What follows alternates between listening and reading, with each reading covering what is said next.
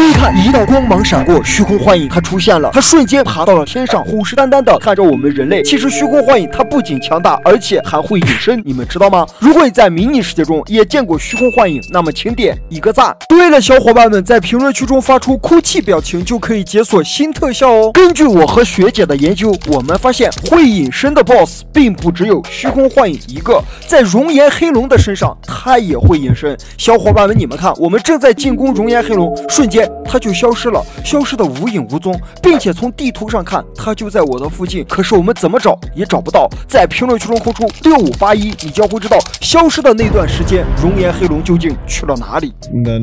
那么虚空幻影它究竟会如何隐身？今天我和学姐发现，当我们进攻虚空幻影的时候，它就会招出传送门。小伙伴们，你们看，它没了，它隐身了。突然之间，他就出现在了我们身后，瞬间他就爬到了围墙之外。